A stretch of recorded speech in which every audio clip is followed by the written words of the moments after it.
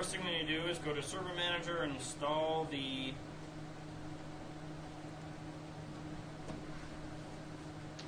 Windows Server Backup program.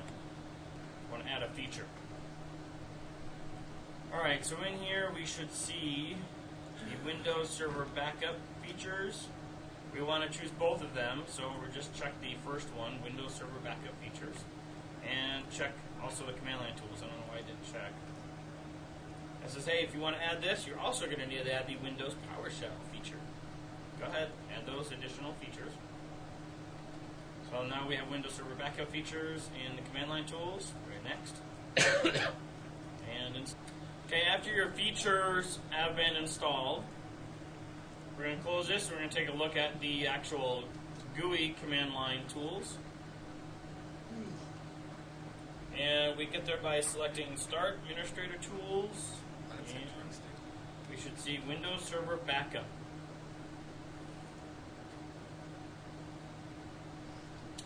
First backup we're going to do is we're going to do a backup of our data volume. Just do a simple backup of that, see how that works, and then we'll delete a couple folders and then restore them. The next thing we're going to do is do a full system backup, and then uh, we'll do a whole recovery.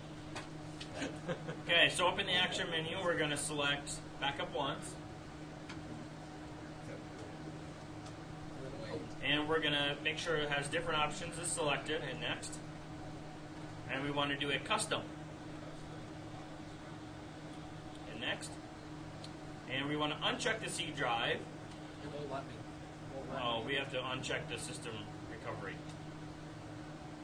Uncheck system recovery. Alright, so now we want just the E drive. We want the entire data volume. That's why it's nice to separate out your data and where things are stored in separate volumes.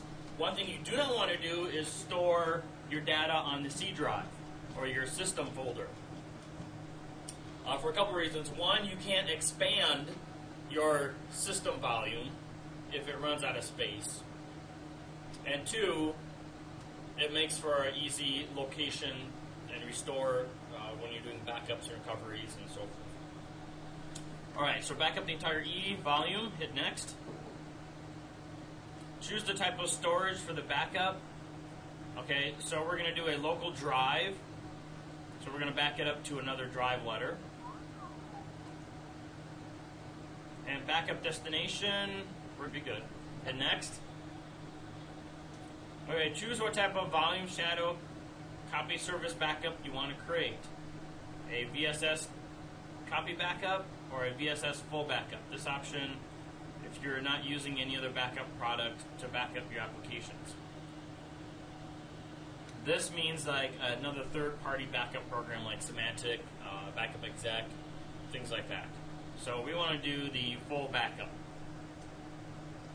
That way it'll actually clear the um, archive bit for the attribute, the archive attribute. Hit next, and all we have to do is hit back up. Oh, come on. Stop doing that. And we should see it. There it goes. Now, the benefit of the volume shadow copies is because it will back up files that are open by users. In the past, backup programs would get locked up or would skip files that were open by users. Like if somebody stayed logged in and they had their Word document open all night long, the volume shadow copy will be able to still back up that file, even though they have it open. In the old ones, it would just not. Would just And the old ones, you'd skip it. You'd go um, 476 errors, and you'd look, and it'd be like file open, and it would list all 476 files that were open that didn't get backed up. So that would be, not be good. So backup complete, right? Wasn't too bad. Hit close. Let's explore the uh, backup volume and see what we have there. Here it is, Windows Image Backup. Go in there, hover to 08, and there's my. The catalog is the list of files that were backed up. Okay, there are text files that are used by the backup program. And then here's the actual backup. And again, there are XML files. Oops. Come on, Aaron, stop messing around. When I expand this. So XML files, and here's the actual backup file. Virtual hard disk. That's right. So we're not gonna, we're not going to mess around with any of these backup files. I just wanted to show them, show you where they're at. Okay. So we're going to leave them put, and obviously the next day and time will be recorded, and we'll have multiple backups located here. All right, we're going to close this. Now let's go and delete because we had a major catastrophe. Uh, we are going to now delete our data volume. Let's delete the stuff on here. It won't let us delete some stuff. There we go. So all the files have been deleted. Our users are freaking out because they don't have access to their data. So now let's restore it.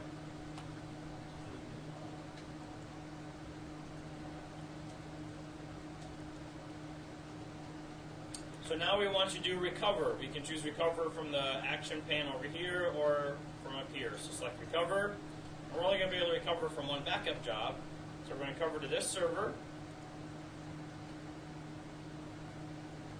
Available backups. The one that was done today at 949. So here you could choose previous dates. So if you had previous backups done earlier in the month and so forth. Hit next. What do you want to recover? Files and folders or the entire volume? Well, we can do the entire volume. If you chose files and folders, you can browse and, and choose specific files that you wanted to restore, specific folders. So that way, you're not having to restore the entire volume and replace folders of people that are like, I'm fine, my stuff is there. You're just restoring folders of people that had things deleted or removed by accident.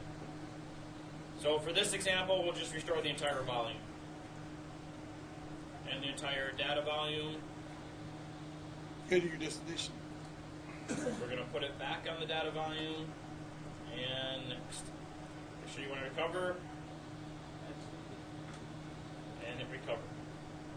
Now should be restoring those files. And if we go take a look at our computer, the E drive, we should start seeing folders show up on the E drive. Oh, it's not accessible because it's essentially formatting the volume and rewriting the bits back how they were when they did the backup. Store line is complete. Mm-hmm. It's complete. Now let's take a look at it. Yay, all of our files are there. Backup worked. Alright. Close that. So that was a backup and a recovery. Now let's do a full system backup.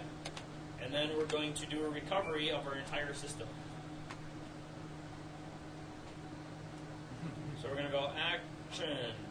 Backup once. Different option. Yep. So let's do custom. And then we're going to choose the C and the D drive.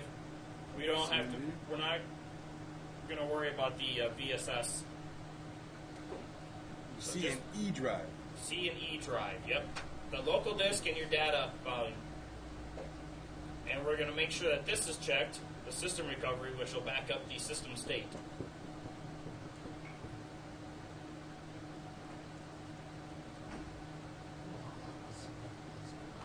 We're going to choose the G drive. And we're going to do a full backup. And then hit the backup. So here it's backing up, and I'll pause this. And what did you pick? Okay, now that our backup is complete, go ahead and hit close. We should check to see if that's out there first before we do. And let's take a look at the uh, backup drive. It looks like it only has four gigs of free space, so there's obviously some big backup out there.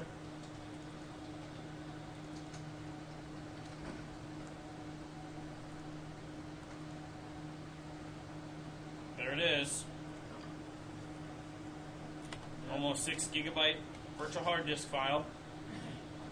Okay, so we have it backed up. So now let's shut our computer down. Destroy it. We are now going to, since this is running a virtual machine, we're now going to we're not going to necessarily delete our virtual hard disk. We're just going to create another one and then rename the old one. So now that that is shut down, yeah, so I have a 30 gigabyte hard disk. So that's what I have to create. So what I'm going to do is I'm going to explore my D drive and I store these under Holverson Win2K.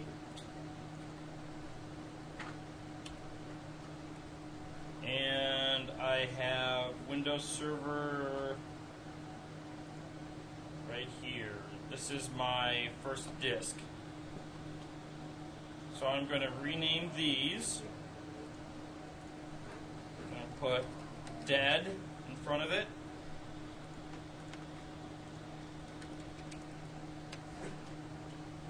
So now I'm going to go back to my VMware, edit my virtual machine settings, and in my settings, my first disk, it says it can't find it.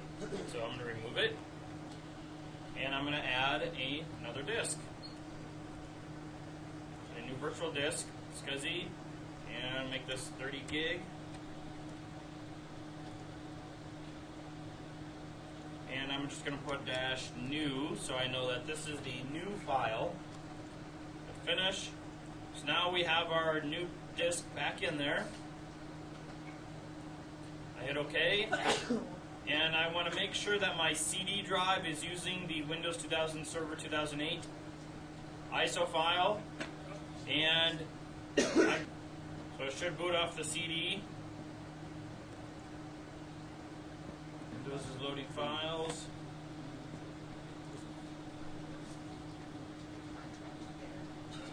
So I need to click inside of the window. Hit next. And we want to do repair your computer. Operating system repair, click next. We don't have one. We want to do the Windows Complete PC Restore.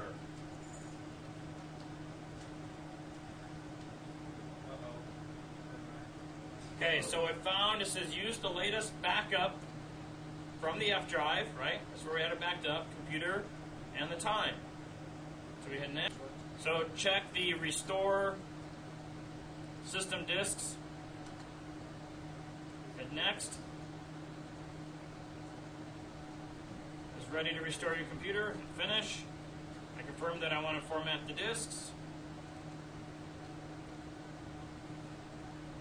And we'll sit and watch it restore.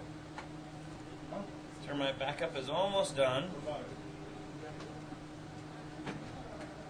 Restore is almost done. Now fast can restart the computer.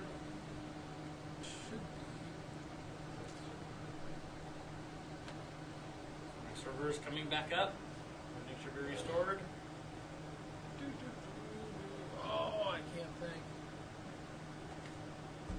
Let's log in and see.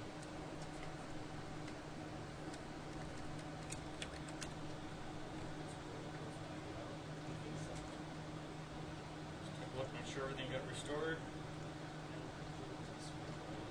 Should we do the same?